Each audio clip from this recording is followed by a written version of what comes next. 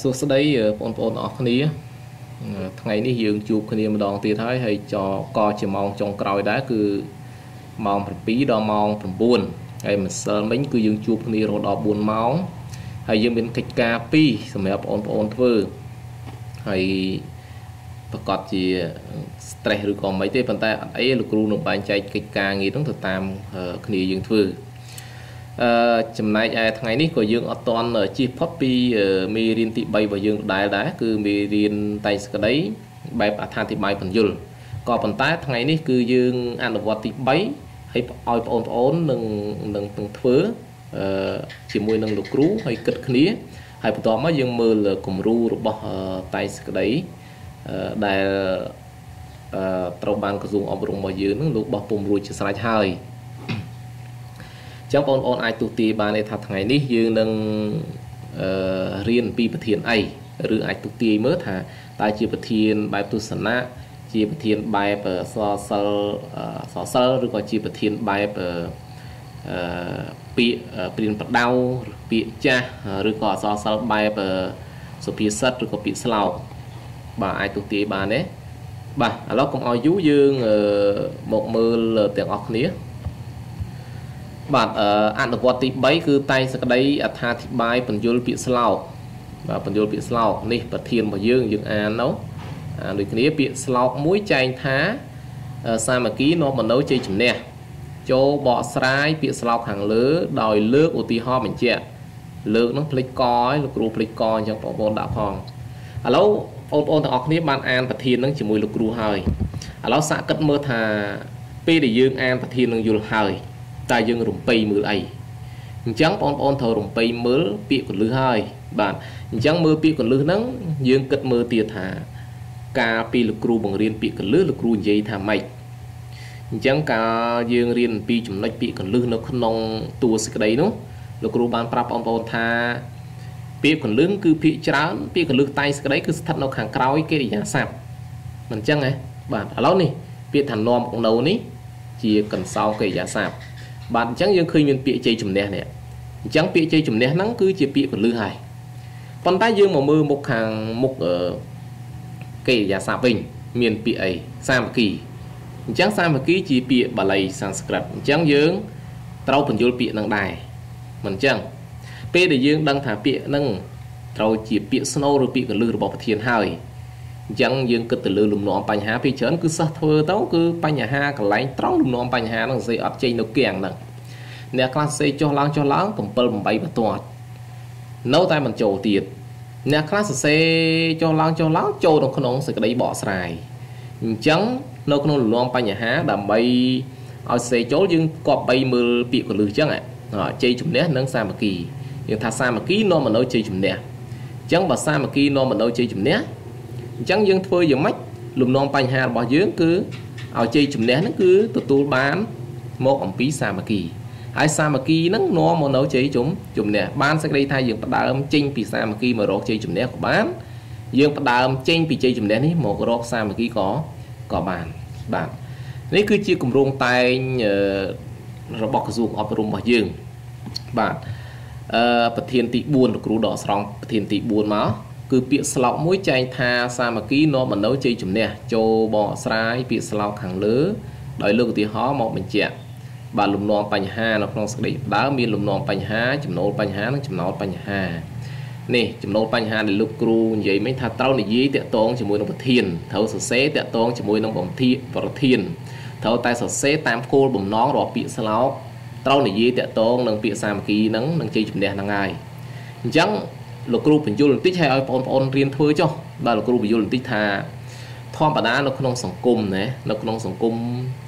ជាតិនៅក្នុងសង្គមមនុស្សសង្គមគ្រួសារឬក៏សហគមន៍វាមិនលែងក្នុងការជួបប្រទះនៅឧបសគ្គ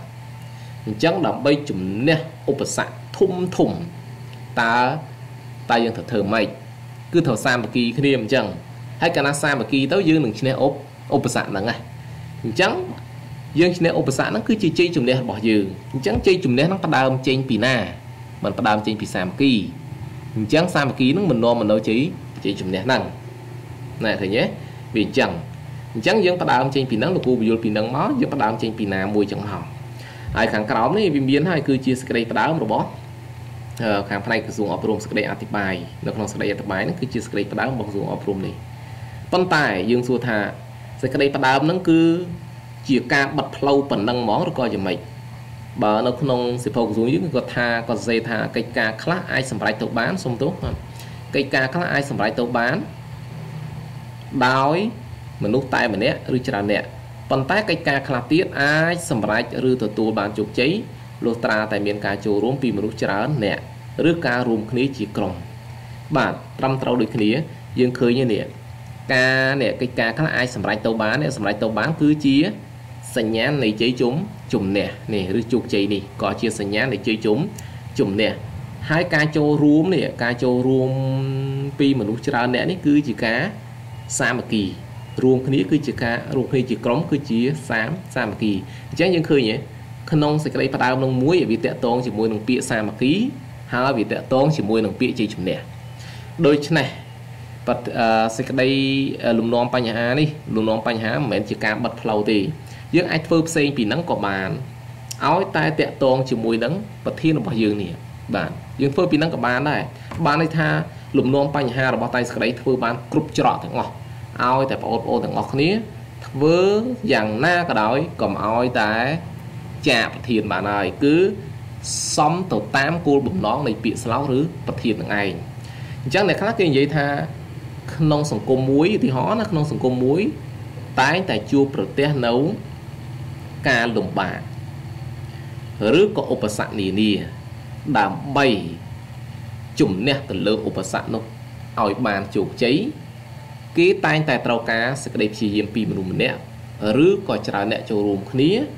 រួមគ្នាជាក្រុមទៅសម្រេចក៏មាន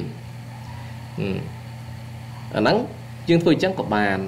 ឬយើងធ្វើផ្សេងពីហ្នឹងក៏បានដែរសំខាន់គឺសរសេរពាក្យ តាក់ទងជាមួយប្រធានបទយើងនឹងឯងហើយយើងដាក់ចំណូលហេតុដូចនេះហើយអញ្ចឹងណានេះគេដាក់ហើយនេះបាទខាងសួនហេតុដូចនេះហើយទើបមានពាក្យស្លោកមួយចែងថាអញ្ចឹងយើងឃើញគាត់យើងឃើញការធ្វើនេះគឺគឺតាក់ទងជាមួយនឹងសាមគ្គីនិងជ័យជំនះហើយយើងអានតិចទៅថាកិច្ចការខ្លះអាចសម្រេចទៅបានដោយមនុស្សតែម្នាក់ឬច្រើនអ្នកប៉ុន្តែកិច្ចការខ្លះទៀត អាចសម្រេចឬទទួលជោគជ័យលុះត្រាតែមានការចូលរួម ពីមនុស្សច្រើនអ្នកឬការរួមគ្នាជាក្រុមហើយដូច្នេះហើយបានជាមានពាក្យស្លោកមួយចែងថាសាមគ្គីនាំមកនៅជ័យជុំជំនះឃើញទេអញ្ចឹងសរុបស្ដីមកគឺការងារអ្វីក៏ដោយឲ្យតែមានសក្តីរួបរวมគ្នាឲ្យតែមានការរួបរวมគ្នាជាធ្លុងមួយនោះប្រកាសជាមានជ័យជំនះទៅលើឧបសគ្គទាំងអស់នោះហើយ បាទនេះគឺជាពាក្យស្លោកបាទពាក្យស្លោកដែលយើងសិក្សាអញ្ចឹងយើងចោតមកបើវាពាក្យស្លោកយើងថាតើពាក្យស្លោកនេះមានអត្ថន័យយ៉ាងណាខ្លះបាទអញ្ចឹងអឺឥឡូវនេះគឺទៀមទីបងប្អូនអានអានដោយខ្លួនឯងណាគ្រូគាត់តែបញ្យលគោលគោលអញ្ចឹងហើយបន្ទាប់មកនេះបាទគឺជាសក្តីអធិប្បាយ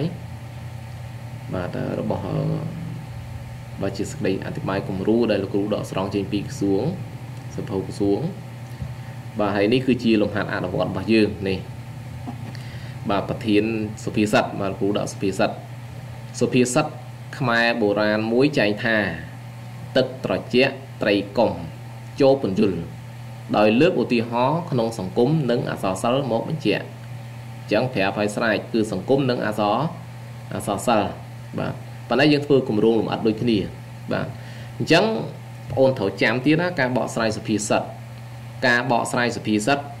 យើងដឹងហើយគឺសុភាសិតតែងមានន័យចំនិងន័យធៀបអញ្ចឹងកាលណាមានន័យចំន័យធៀបក្នុងការបកស្រាយបងអូនត្រូវបកស្រាយន័យចំផងន័យធៀបផងក៏ប៉ុន្តែត្រូវចាំ